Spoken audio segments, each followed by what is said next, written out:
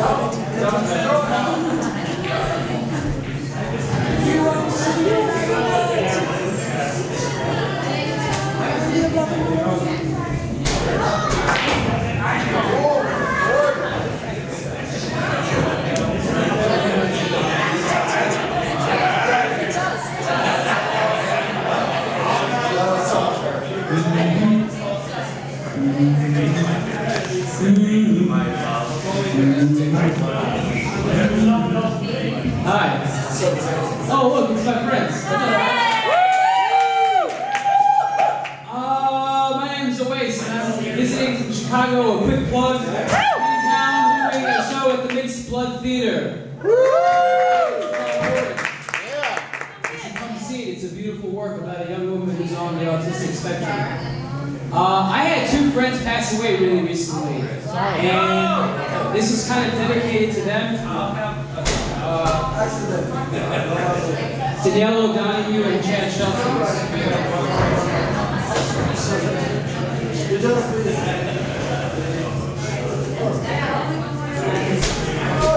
I blame this country.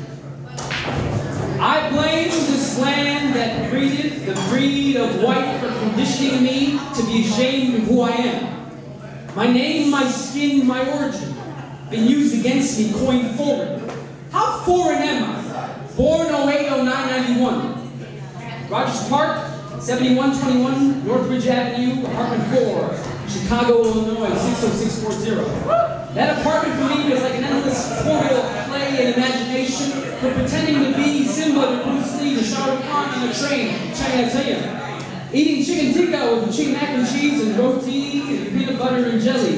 This is how boring I am. Saris sparkling proudly, owning their space, and your hand glowing as it caresses my face. Mom, your hazel green eyes lit electric gold as you taught me to walk, speak, pray, read, and sing all through the town. This is how boring I am. For a lot of there are two different lives. Oh, Before, after 9-11, 2001. I remember the tears dripping from your face as I walked in on post phone call. It was your cousin. Look at what your people have done in this country. Those are just the early signs of how this land will temporarily condition you against your own. My mom has the same flaws that I do. She wants to be loved and accepted freely. And it hurts when you don't treat us equally.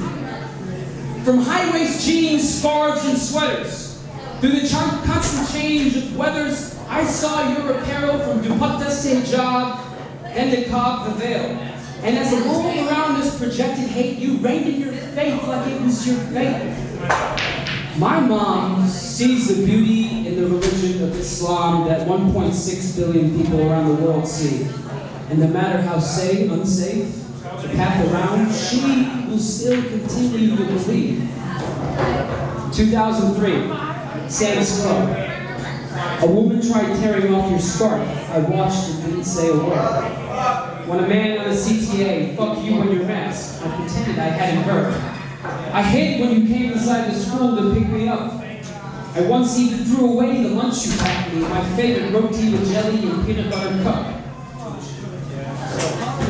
The way people looked at us made you feel like a virus, unwanted and welcome, vile, repulsive. America! Why do I feel like this is what you're doing to me? Assigning me into the role and identity of your enemy. We didn't give you that permission. This is how foreign you think I am. Feeling delight when a white friend would say, I never really considered you as brown. You're so white. Like a coconut is, in the inside down.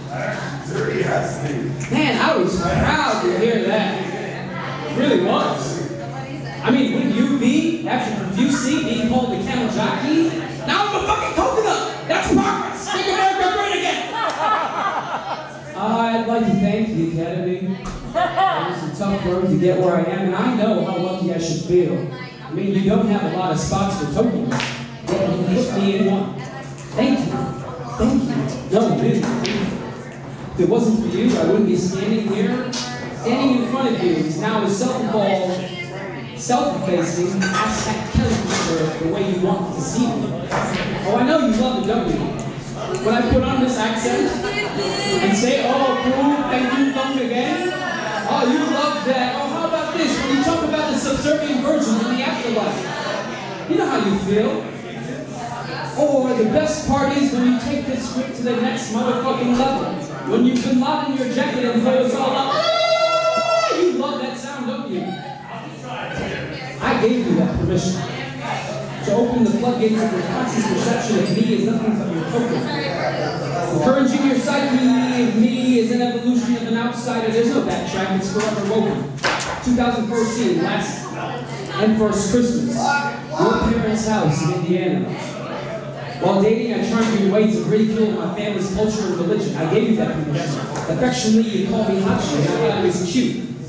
Attraction and acceptance, amongst the other reasons, I stayed mute. Little did I know you weren't referring to Haji as a person who completes the pilgrimage to Mecca, but Haji, who is a character from Jonny Quest. 1965 cartoon. It's an Indian man wearing a turban. He's actually a boy. He's an Indian boy wearing a turban. White girl us. That's my first and last Christmas. Imagine being around your girlfriend's aunts and uncles and neighbors. As night goes on, they forget your name and keep calling you Haji, Haji, Haji. You were so engaged in facing my identity, you didn't realize I had stopped smiling. I understood the reality. Now I know because of Each time that was said, Haji, Haji, Haji, Haji. Imagine being guilty of being an accomplice of desecrating my identity. I feel it. Can you?